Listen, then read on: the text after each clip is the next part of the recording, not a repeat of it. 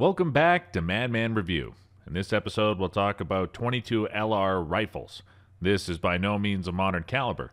It has been sitting on the shelves for quite some time. Its prime time was in the past. Now outdone by many modern rifles that can accomplish some amazing feats thanks to modern technology. However, the same modern technology and the introduction of precision rimfire competition propelled this caliber back into the spotlight.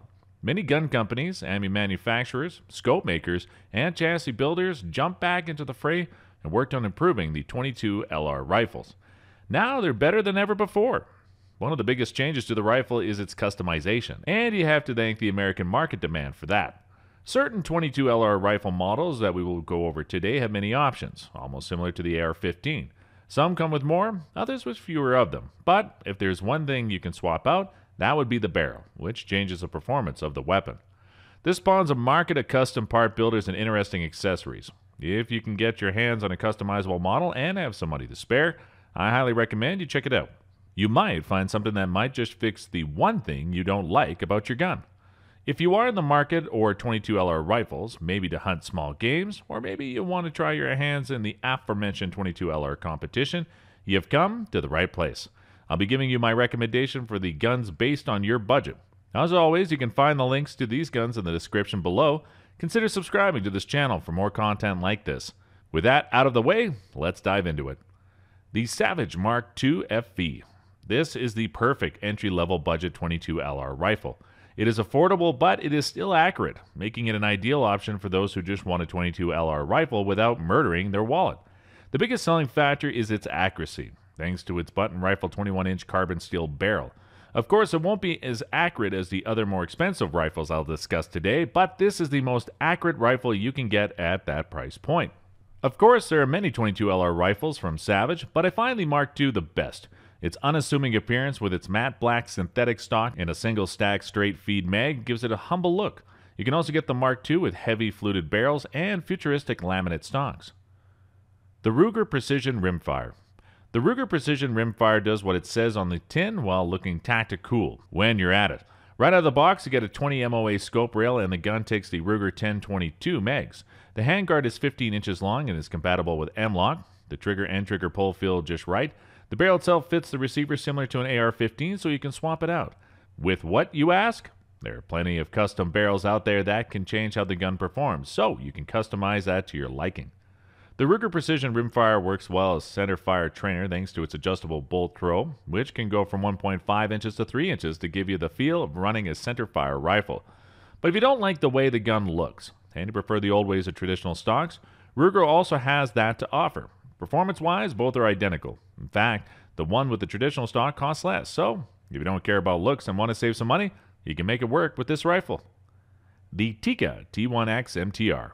This rifle caused quite a stir on the internet. There was excitement about its design and its accuracy, as well as anger for its delayed import. But at the end of the day, everyone was happy when they found that the T1X was super accurate and also affordable at the same time. What makes it accurate is the medium contour heavy barrel, and it also gives the gun a nice balance when held in your hands. Its 10 round mag is a slight hump, but it should not be an issue.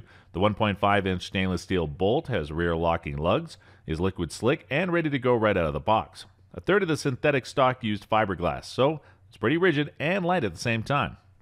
The only downside to this thing is the fact that it can be challenging to get your hands on it.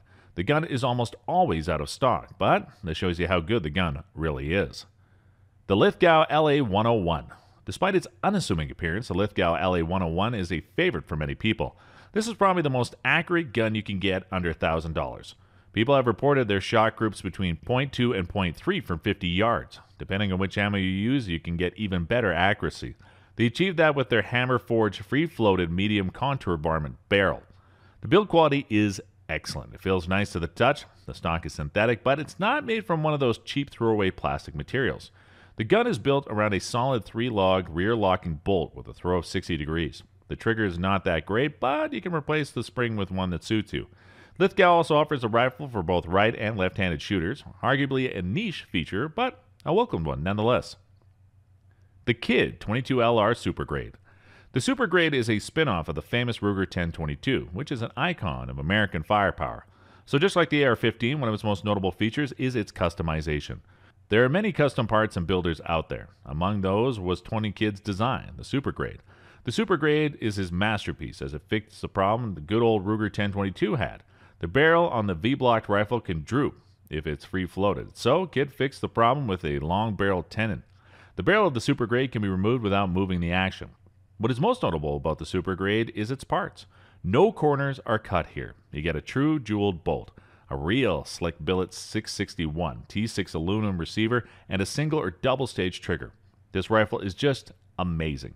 Except it's going to cost you a bit over $1,000. The CZ 457 Varmint Precision Trainer.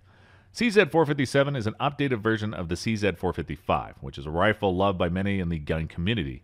The old 455 was good, but there were shortcomings, such as the bad trigger. CZ did the right thing with the 457 by keeping it what people love most about the old 455 and iron out the bad things about it. The new trigger on the 457 is adjustable for over travel, creep, and weight. It's crisp and breaks cleanly, much better than the old 455. It comes with a loaded chamber indicator as well as push to fire safety. The action is trimmed back an inch and slab sided to make the gun lighter and smaller. The bolt throw used to the angle of 90 degrees. Now it's at 60 degrees, meaning that you can use this with a scope if you like. The mag and swappable barrel are still in, and they're excellent. If you can spare a few hundred bucks, you can get a new barrel and just plug it in without a gunsmith's assistant. As always, there are plenty of barrel makers out there, so look around. The CZ457 has 10 configurations, with some costing you below 500 and others going above 1000. Pick and choose which one comes with the features you want most. The Anschutz 1761 sporting rifle.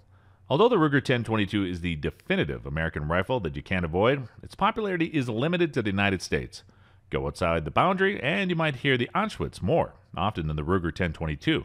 In fact, the Anschutz is a serious contender to the Ruger 1022 in terms of popularity even inside the United States. As the name suggests, Anschutz is a firearm company. As the old saying goes, if you want a reliable, high quality gun, you go German. This one is no exception. The guns from this company usually make it to the NRA small bore shooting events and the Olympics, and they tend to dominate their competitions. Tactical American style precision shooting was never at the forefront of the company's thoughts, but that changed in 2019. The 1416 was good, but it wasn't built for such an environment. And so the company's North American branch announced the 1761, which was initially intended to be a rework for the 54 Sporting, but turned into a complete overhaul. Now it is purpose built to dominate in the tactical precision shooting field. The locking lugs were relocated to the middle and given a 60 degree bolt throw, freeing up space for a scope and a short single spring striker system. The ejection was also improved, but the most notable change was a very American feature. Anschutz broke away from their barrel design tradition and decided to put together a swappable barrel system. The two locking V blocks provide equal pressure on the barrel tenon without marring. The receiver is trimmed down and comes with an 11mm dovetail and 3mm cross slot. A good place to mount an aftermarket pick rail if you want to trick out your gun. As far as German quality goes, your shot groups will be hardly any bigger than a fly. The Vudoo Gunworks Apparition MPA. Vudoo Gunworks is a young company but don't let this seeming lack of experience fool you. The MPA is proof of their mastery. Based on St. George, Utah, this American company kept making new breakthroughs for the 22 LR rifles. The MPA comes with six chassis and four barrel configurations. The V22 action of the MPA is inspired by the good old Remington 40X. The action is not your typical centerfire platform, but smaller design. Instead, it's a true to scale rimfire design with very single aspect dedicated to delivering pinpoint accuracy. One such aspect is the feed ramp or lack thereof. The bolt face catches the back of each round from the mag, designed specially by Vudoo. With this system, the 22LR bolts don't make contact with any of the mag surface or action before it's popped into the chamber. The bullets are soft, malleable, and can be easily marred by the gun's inner workings. This single change means that the bullets are kept in tip top shape, without any scrapes or nicks, which helps improve accuracy. It probably doesn't matter much, but for those who want the best accuracy, every little bit helps. Although the mag is from Vudoo, it replicates the AICS mag's dimensions.